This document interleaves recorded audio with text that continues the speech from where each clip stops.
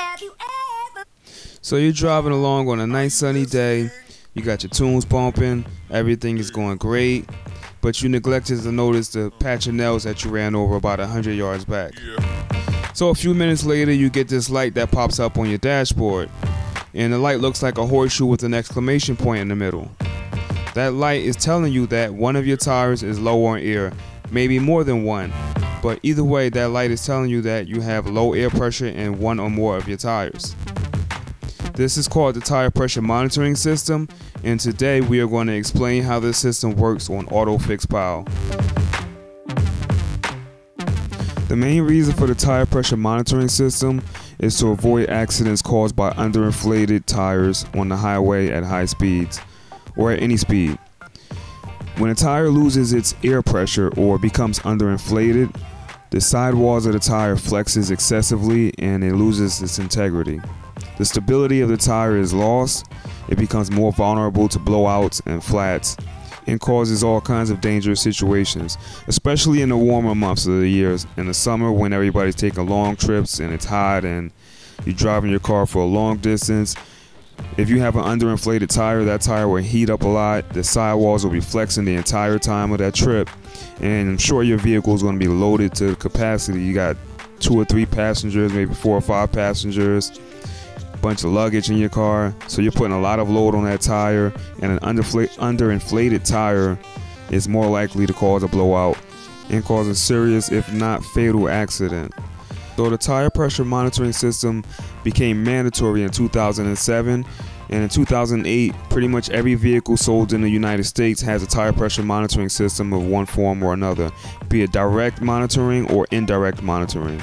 The European car market has been using tire pressure monitoring on their passenger vehicles since the 1980s. And General Motors have been using a tire pressure monitoring system on their Corvettes since 1991 and continue to do so to this date. Now in the picture right here, you'll see three different types of direct TPMS sensors. These are the most popular types of sensors that are used today on most vehicles. The first sensor you'll see is a sensor attached to the metal valve. It's actually an aluminum valve and the TPMS sensor is attached to the inside of the wheel, inside of the tire. And that's one of the more popular types of sensors right now. Most vehicles have that. And um, the most common type of problem what you'll see with these sensors is corrosion. If you live in a region where there's a lot of snow, a lot of humid weather like the northeast where I'm at, then these sensors tend to crack at the valves and they'll leak. The nut that holds the sensor together, that holds the sensor in place and keeps it sealed nicely up against the rim, they'll tend to crack and split. And sometimes even the part where you'll fill the air into, where you take the rubber cap off, that tends to separate and you'll have all types of issues once these sensors get, you know, just a few years old. So um, if you have this type of sensor in your car, the most critical thing that you can do is to make sure that you have a valve cap on there at all times. And and don't use the metal valve caps; they have a tendency to get stuck onto the um, valve stems. Um, corrosion gets in there and they'll just get stuck. You won't be able to unscrew it, so don't use metal valve caps. So the next type of sensor is basically the same. The only difference is that it uses a rubber valve stem instead of an aluminum valve stem. But these rubber valve stems are a lot less susceptible to weather changes and the caps won't get stuck on there. You can use your metal caps on these type of valve stems if you want. And um, they're just a lot more resistant to weather conditions and a lot more durable. And this seems to be the TPMS sensor system that most manufacturers are going with nowadays. I see GM is using it, Nissan is using it, Ford is using it. I think Honda is using this as well. I'm not sure what other manufacturers are going to the rubber valve TPMS system, but um, I know that a lot of manufacturers have switched from the aluminum valve stems to the rubber valve stems. So we don't need to really cover this system too much because it's pretty much the same as the previous system with the aluminum valve stems. The only difference is, that it has rubber valve stems. And identifying a vehicle that has rubber valve stem TPMS sensors is typically easy. You could um look at the valve cap. Most of the time the valve cap will be longer than your standard valve stem cap. And um there'll be other indicators such as maybe a rib, a rubber rib going around it, a rubber ring going around it, but there'll be something to indicate that this is not your typical your typical normal valve stem. So before you go and um, rip those valve stems out before you change the tire, you may want to take another look at it just to make sure you don't destroy a TPMS sensor while you're trying to rip the valve stems out. Okay, so the next type of TPMS sensor is the band sensor. This is the type of sensor that Ford used. Um, they don't use them anymore. This is what they used in their earlier vehicles. I'm not sure exactly what years, but um, you won't find them in their vehicles nowadays. Nowadays, they're using the valve, the rubber valve stem type TPMS sensor. There's no real difference with this sensor except that it's not located in the valve stem and it is usually located 180 degrees opposite of the valve stem. So if you're not sure if the car has a TPMS sensor and it's a Ford, just look at the valve stem. If it's a plain Jane valve stem and it's a 2008 or newer, then this vehicle has either had its TPMS sensor removed or it has a band style type TPMS sensor that Ford used in their earlier vehicles.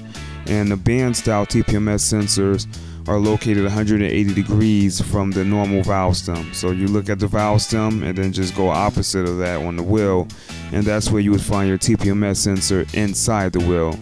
Now there's no outside indicators if this car has a TPMS sensor, so you'd have to pay attention to the dashboard when you start the car up. You'll see the um the low tire light illuminate, you know, to do the bulb check when you turn the key to the on position.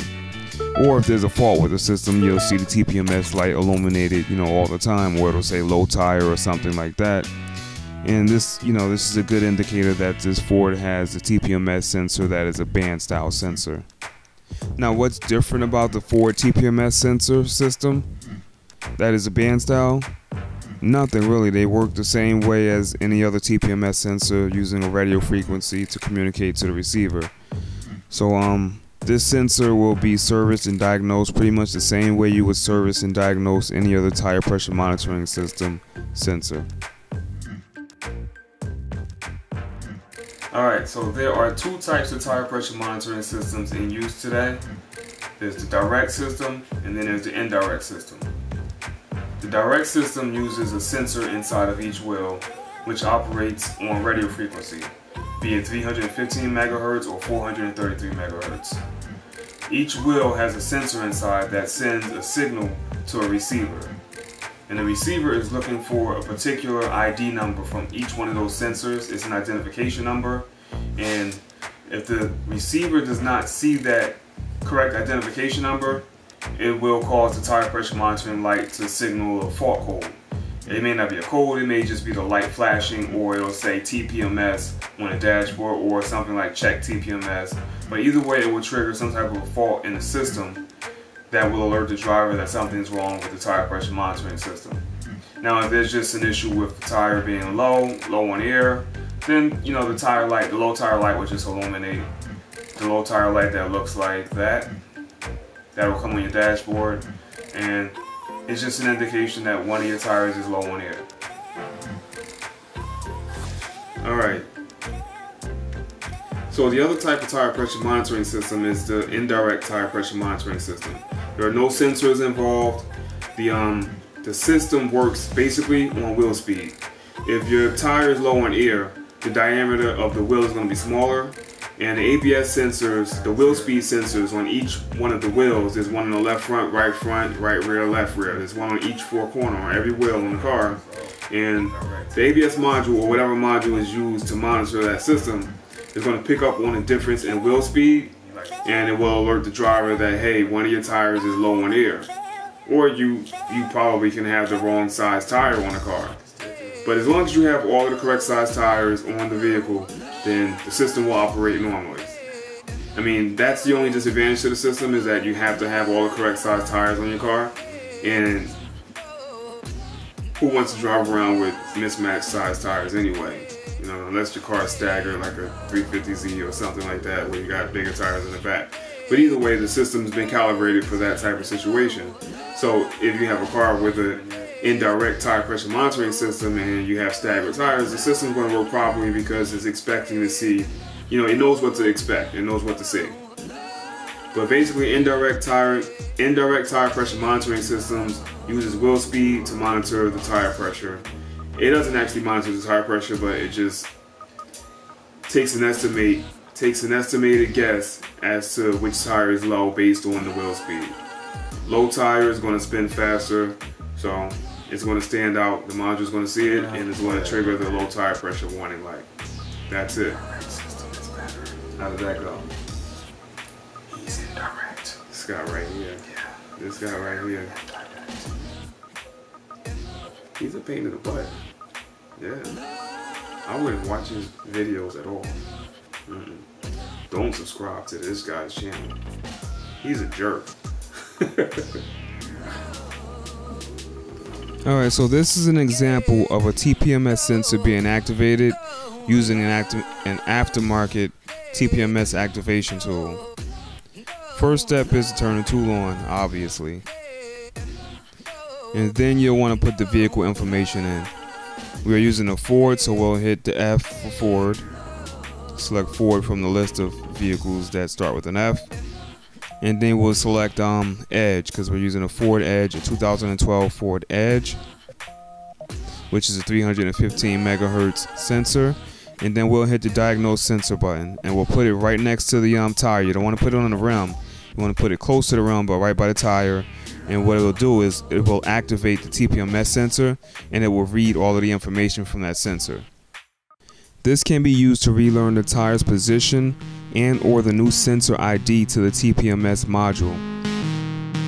And the vehicle displays the tire pressure for each wheel on the instrument panel or you may have a heavy duty vehicle where the tire pressure is 80 psi in the rear and 50 psi in the front. You will need to activate the vehicle's relearn mode and relearn the location of each wheel on that vehicle. Now to trigger the relearn mode on each vehicle will be different and you should consult with the vehicle service manual for the proper procedure. Now let's talk about basic TPMS operation and relearning. So as I mentioned earlier on in the video, there are basically two components to a TPMS setup. You have the transmitter, which is a sensor in each of the four wheels, and in some cases, a spare tire as well. You also have the receiver, which verifies the sensor belongs to the vehicle and translates the information from that sensor. Now, if for some reason you end up having to replace a TPMS sensor in the right front wheel because the battery died, and by the way, the battery life on TPMS sensors are anywhere from 5 to 7 years, you will likely end up with a situation where the new TPMS sensor ID does not match the sensor ID that the TPS module is expecting to see. When this happens, the TPMS module will trigger a TPMS fault message to display on the instrument panel. This may be in the form of a flashing low tire light, a TPMS light, and or a text message that says to check your TPMS system. Now to correct the problem of having a new sensor with new sensor ID in the right front wheel, you will need to put your vehicle's TPMS module slash receiver in relearn mode or reprogram the TPMS module with the correct right front sensor ID. To do this, you will need to consult with your vehicle's service manual or do a Google search and hope that your TPMS system does not require a capable scanner or TPMS relearn tool to update the sensor ID in the module. Unfortunately, many vehicles do require special tools to update the sensor IDs in the module. Now there is another option in which you use aftermarket sensors from a different company, from different companies that allow you to clone the original TPMS sensor and therefore no relearn procedure is required. However, this procedure also requires special equipment and some vehicles will just not accept aftermarket TPMS sensors. So hopefully you now have a better understanding of how the TPMS system works and what is required to keep that light on your dashboard out. Now with that said, the most common problem with TPMS sensors that you will encounter is simply low tire pressure. Do not go to a gas station with a rundown and worn out air pump with highly inaccurate pressure gauge and think you will get good results. You cannot eyeball it either you will need to get yourself a tire pressure gauge with some level of accuracy in order to satisfy the TPMS module. You can, however, find the required tire pressure for your vehicle on the inside of the driver's door jamb as you see pictured right there.